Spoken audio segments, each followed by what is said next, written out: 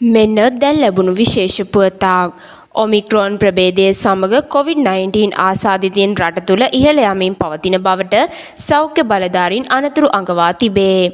මේ වන විට රට තුළ ඔමික්‍රෝන් රෝගීන් 48ක් වාර්තා වී ඇති අතර අනාගතයේදී ඔමික්‍රෝන් ප්‍රභේද ආසාදිත රෝගීන්ද කොවිD-19 රෝගීන්ගේ නිවෙස් බලා යාමට ඉඩ ඇති බව විශේෂඥ වෛද්‍ය මල්කාන්ති ගල්හේන මහත්මිය පවසයි.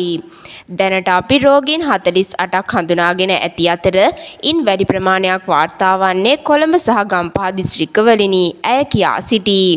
අනුරාධපුර දිස්ත්‍රික්කයෙන්ද ඔමික්‍රෝන් රෝගීන් හඳුනාගෙන ඇති බවද ඇය වැඩි දුරටත් පවසයි.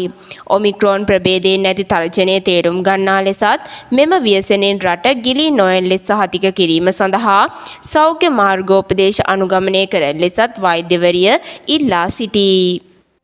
මෙවැනිම පුවත් ලද සැනින් දැනගැනීමට අපගේ YouTube නාලිකාව මේ දැන්ම සබස්ක්‍රයිබ් කරන්න.